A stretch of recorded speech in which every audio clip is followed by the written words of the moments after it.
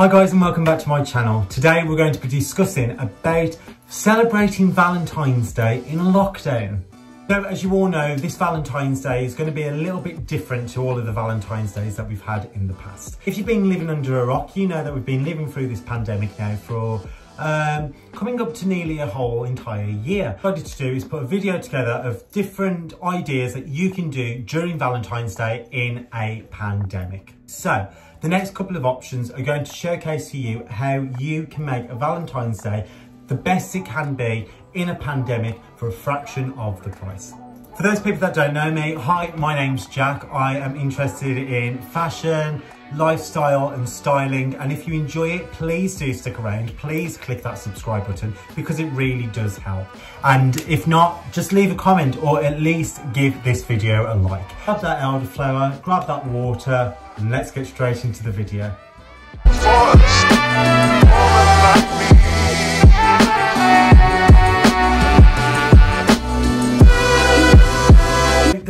On my list is standard flowers. Standard flowers in a box of chocolates, but I would elevate that a little bit more. So for example, if your partner is a key worker or if your partner is still working throughout this pandemic, then why not send these flowers and chocolates to their place of work? I've done it before in the past and it goes down an absolute treat and it's amazing. Feel a little bit like you've made a little bit more of an effort really. And I I think it's such a good idea because it takes also the stress off you. You can you can book it through an online company and they can do all of the work for you. All you need to do is write the card. You can also select a card that it comes with, which is incredible. Houseplants. Houseplants at the moment are a massive vibe in the house. Of course they are, because they're houseplants. These houseplants that you can see behind me, I only bought them from B&Q and they're only £12 each. It came with the plant, of course, and it came with the plant pot with it. Of course, a plant or a flower always comes with a lovely box of chocolates. But why don't you push the boat out? Instead of buying these tacky chocolates, me and my mom always refer to them as cardboard chocolates because there's just no taste in them get a bar of Lindt or something, or even green and black. They are my favourite chocolates, and you can actually get them in little packs where you've got like all selections and stuff. And I think that's only, what, £8 or something. Yeah, it just shows a little bit more class. It shows a little bit more like you've thought it out. And who doesn't like a box of chocolates? If you bought me a box of chocolates and started to get fat and then you fell out of love with me, then I would definitely highly recommend not buying me a box of chocolates.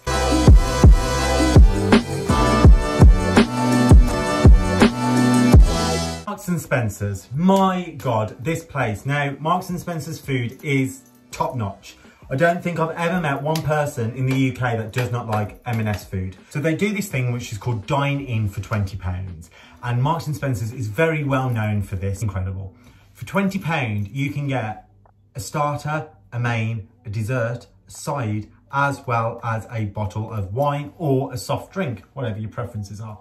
In stores on February the 10th and the best thing about this is that Marks & Spencer's food hall is an essential shop, so it is still open and you can go out there and buy it. You can't buy it online, unfortunately. Other options that you can explore on the Marks & Spencer's website, which are showing up now. You can have a look at flowers, cards, things that we were talking about in the previous clip as well.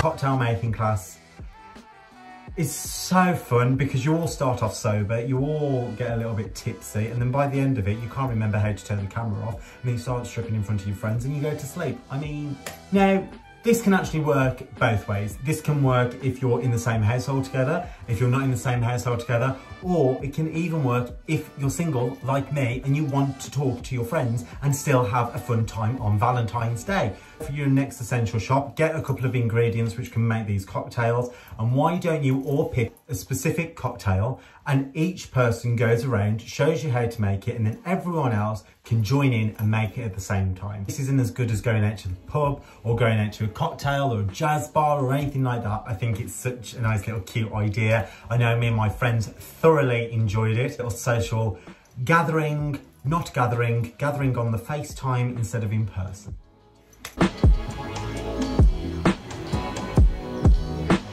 Dive into the history of Valentine's Day with three facts. Fact number one, Cadbury's in Bournville actually illustrated the idea of giving chocolate to your lover. You know that the first Valentine's was written by the Duke of Orleans at the age of 21 in the 15th century. Fact number three, a kiss, an X. What? Why do we always put an X at the end of our cards? Back in the day used to represent Christianity and also a cross, just a standard cross. In that time, writers would always seal documents or approve things with an X. Kings and queens would sign documents with X's and they would kiss it so it would have a seal of approval. So from then onwards to the modern day, an X is being referred to as a kiss because it's been sealed with a loving kiss. Also guys, if you haven't checked out yet already my blog post, my blog post for this video will be listed below as well with a couple of other ideas and also links for you to click on and go straight to the pages which I'm referring to.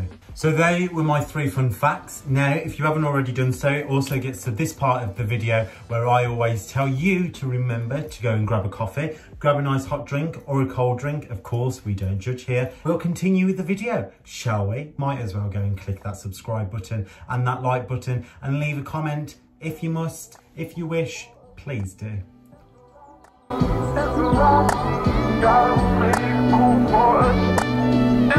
So the next idea is going out for a walk. Now this has been encouraged by so many people out there, not just purely for Valentine's Day, but throughout the whole entire pandemic which we're experiencing at the moment.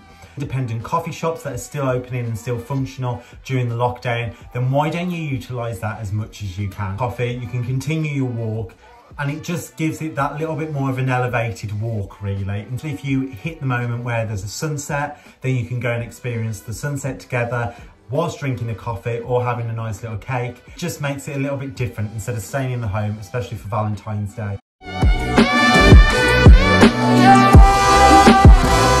Netflix without the chill. Now, we all know what Netflix and chill means. I definitely do on the gay scene not on that scene, then I'm sure you still know what it is. Netflix without the chill. Of course, we can't incorporate the chill if you're separated with households, but if you aren't separated in household, then you carry on. You enjoy that chill.